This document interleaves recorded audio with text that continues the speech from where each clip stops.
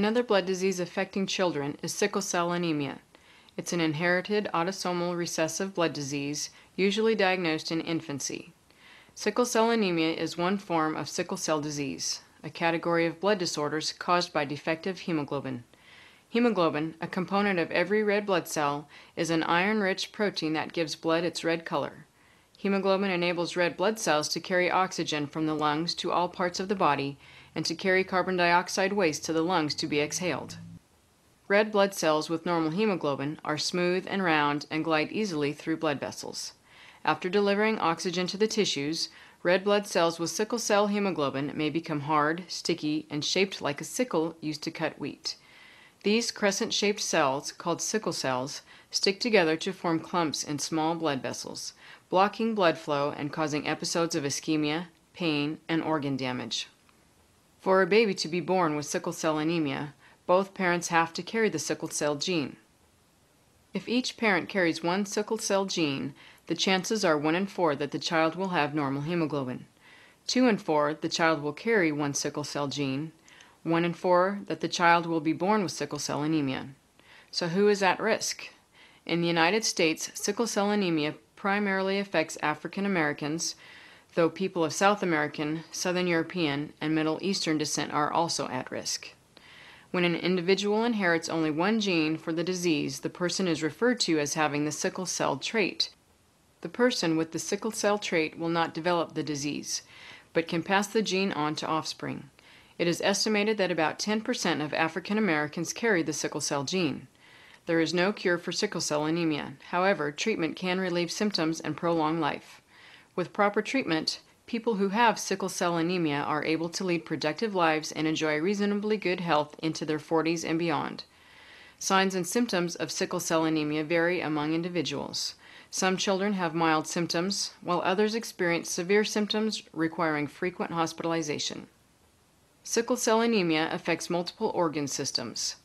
What about the signs and symptoms of the disease? The first is anemia. Sickle cells are very fragile, breaking down easily and resulting in decreased red blood cell levels. Without enough red blood cells in circulation, the body cannot get sufficient oxygen to meet energy needs. Anything that increases the body's need for oxygen can make sickle cell anemia worse, triggering a crisis. A crisis is a painful episode that develops when the sickle shaped blood cell piles up and blocks the blood vessels in an area. It can happen in any body organ or joint and causes severe pain because the tissues are not receiving enough oxygen. Usually, blood vessels in the chest, abdomen, and joints are affected, but the bones also become painful. The pain varies in intensity and can last from a few hours to a few weeks. Other signs include vomiting, anorexia, fever, swollen joints, and hand foot syndrome. Swollen hands and feet are often the first sign of sickle cell anemia in babies. The swelling is caused by sickle shaped red blood cells blocking blood flow out of the hands and feet. This symptom is often accompanied by pain and fever.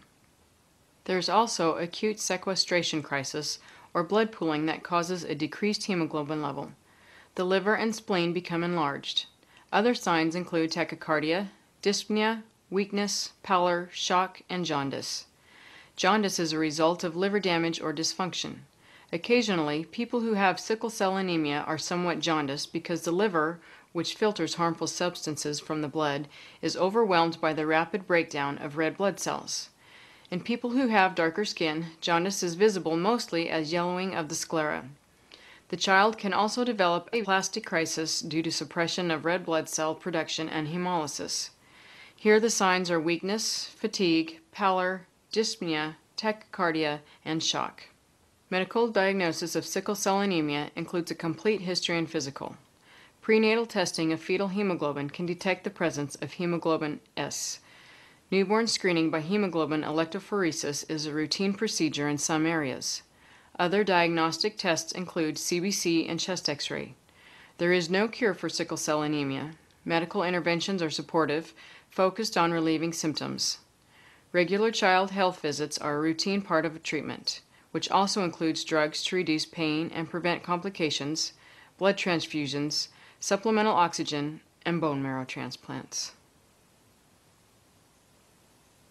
Children who have sickle cell anemia begin prophylactic treatment with penicillin twice a day when they reach 2 to 3 months of age. This treatment continues until age 5 or 6 years. The goal of treatment is to prevent infections such as pneumonia, which can be life threatening for an infant or child with sickle cell anemia. To relieve pain during a sickle crisis, the family may administer over the counter pain relievers and apply warmth to the affected area. For severe crisis episodes, opioids may be prescribed. Hydroxyurea, trade names Droxia and Hydrea, normally used to treat leukemia, is also used to treat sickle cell anemia directly. Hydroxyurea appears to stimulate production of fetal hemoglobin, which helps prevent the formation of sickle cells. Children who have sickle cell anemia might be given blood transfusions to increase the number of normal red blood cells in circulation, helping to relieve anemia. In children with sickle cell anemia at high risk for stroke, regular blood transfusions can cut that risk by up to 90%. They may be on supplemental oxygen during a sickle cell crisis or with acute chest syndrome to relieve hypoxia and dyspnea. Occasionally, sickle cell anemia is successfully treated with a bone marrow transplant. The procedure replaces sickle cells with healthy bone marrow and red blood cells from a donor. Your nursing priorities for children who have sickle cell anemia are maintaining adequate oxygenation, administering oxygen as prescribed, and monitoring pulse oximetry. You'll maintain hydration by administering IV fluids as prescribed and encouraging PO fluid intake when possible. For pain management, you'll administer narcotic analgesics and provide comfort measures. You will also provide adequate rest and oral hygiene, administer blood transfusions, provide adequate nutrition, and prevent infection by administering antibiotics. You'll teach the child and family to recognize and avoid crisis triggering factors such as cold, dehydration, stress, overexertion, hyperthermia, acute infection, and hypoxia. You will teach them about adequate hydration, diet, and nutrition, the danger signs indicating infection, and the importance of immunization and routine child health visits. Many of these children are either surgically or functionally asplenic and thus require long term penicillin therapy. And finally, you'll refer the child and family for genetic counseling.